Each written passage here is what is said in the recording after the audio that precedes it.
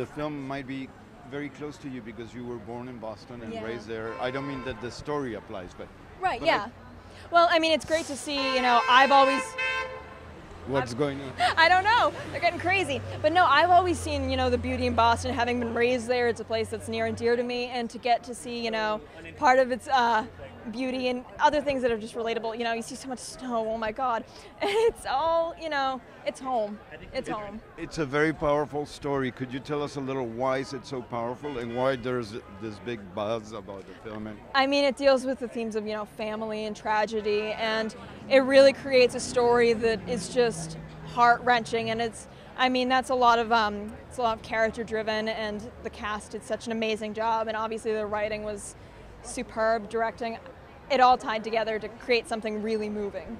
you started very young in this industry. You seem very comfortable. How do you feel about your work and all that in general? Oh my, well, my work in general, it's, this is my favorite thing in the world. Acting is, you know, it's what I want to do for, with my life. I'm so happy to be here now.